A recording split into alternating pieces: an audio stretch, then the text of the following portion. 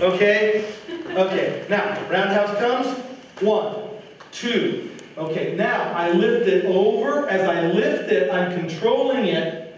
Now, punch. See how I turn, you know, you don't have to turn quite as much as I'm turning it here, but I punch like so. Now, I had the circle to check the arm anyway, so I might as well, when I hit him here in the kidney area, he will back arch in a real fight.